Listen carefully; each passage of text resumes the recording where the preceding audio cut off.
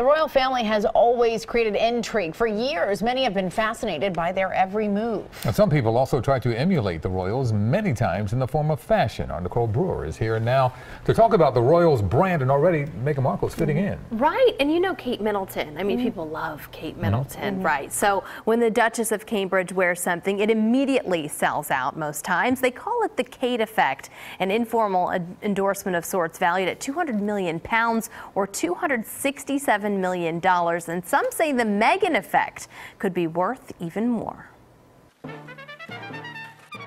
When Prince Harry and Meghan Markle officially announced their engagement Monday, the world took notice. I was excited for him. I think they make a great couple. Way to go, America. They also observed what she was wearing. It was, it was like a white mm-hmm. wool. Canadian made, right? A white wrap coat by Canadian label Line. Her dark hair kind of really highlighted. it sold out hours later. It's pretty good. Everybody's with the internet, you buy anything you want quickly. I personally would like her ring. So what's the value of this kind of endorsement from the soon-to-be royal? Monumental because it's like a, a, huge platform to get your name out there. Probably priceless now. $40 million. Yeah, easy. The Super Bowl times 100. Peter Madden, CEO of marketing firm Agile Cat, says any association with the royal family will increase a brand's bottom line. People buy these products to get closer to the person in some way. You can like wear the dress they're wearing. It's like a little slice of their life. He believes the American-born actress could have an even greater impact than Kate Middleton. Meghan Markle is, is more accessible.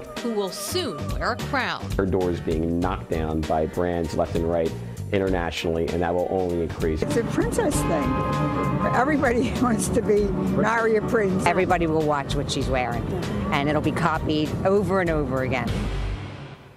And by the way, the company says their wrap coat, once called the Mara, has now been changed to the Meghan hmm. in honor of Prince Harry's future bride. Okay. Change the name. The Meghan. Right. Yeah, exactly. Congratulations to the happy couple. Sure. Thanks, yeah. Nicole. Thanks, Nicole. Appreciate it.